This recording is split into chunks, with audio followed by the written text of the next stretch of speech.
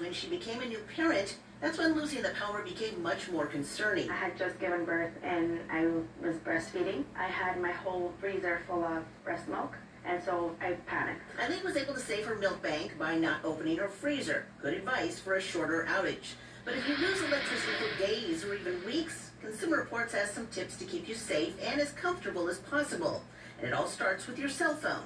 A cell phone is a lifeline because it's what you're going to use to contact friends, family, or emergency responders in the event of an emergency, so it's imperative that you keep it fully charged. Switch the phone to a power saving setting, such as airplane or low power mode, and use the phone only when necessary. As a backup, write down important phone numbers and addresses you might need, such as the nearest hospital, a storm shelter, or other public places that might have power. Consumer Reports food safety experts say your unpowered refrigerator can keep food at a safe temperature, below 40 degrees, for about four hours if you don't open the door. And a full freezer's worth of food will stay frozen for approximately 48 hours if the door remains closed. If you do lose food, check with your insurer. Many homeowners' insurance policies will cover the replacement cost of spoiled food in the case of a power outage.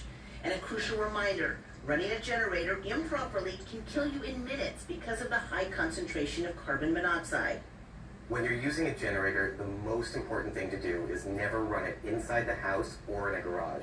You want it as far from the house as possible, a minimum of 20 feet, and make sure that the exhaust is directed away from windows and doors. As for Eileen Carpio, she's considering a generator for future outages. With all the power outages that we've been through now that the winter's coming, we would definitely consider uh, a generator.